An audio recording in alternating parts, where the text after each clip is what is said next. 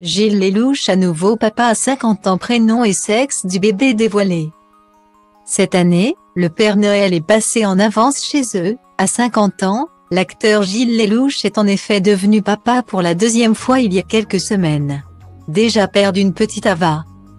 Né d'une première union, le comédien a cette fois-ci accueilli un petit garçon avec sa compagne. La superbe Alizée Guinochet. Née le 13 novembre dernier à l'hôpital américain de Neuilly-sur-Seine.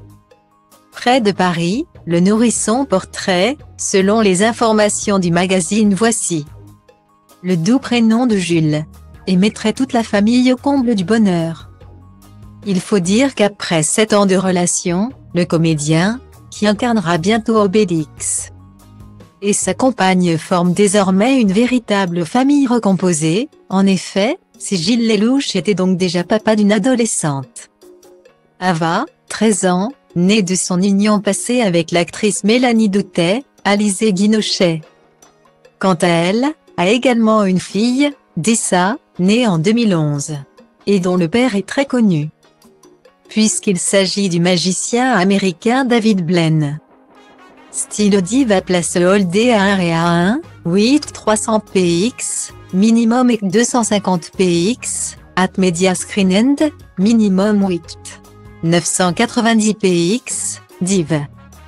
À place Holdé à 1 et à 1, 8 620 px, minimum et 350 px, style.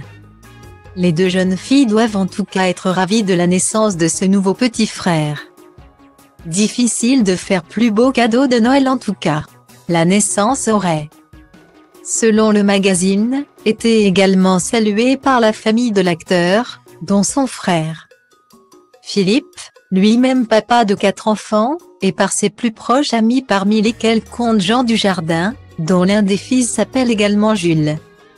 D'ailleurs, Guillaume Canet ou Marion Cotillard. Et ces deux derniers, ils devraient les retrouver très vite pour la promotion de leur nouveau film en commun. Astérix et Obélix, l'Empire du Milieu, dans lequel le papa joue un Obélix plus vrai que nature. Un rôle qu'il avait été encouragé à accepter par sa fille, Ava, certaine que son père était fait pour le projet. Elle m'a dit, attends, je n'ai pas bien compris, tu ne vas pas faire Obélix Papa. Je ne veux pas t'entendre parler de ça, tu vas faire Obélix elle a 12 ans et c'est elle qui m'a donné envie. Avait-il raconté il y a quelques mois sur le plateau de C'est à vous. Et nul doute qu'Eva montrera le film à son petit frère dans quelques années. Et que tous les deux vont être plus fiers que jamais de leur papa.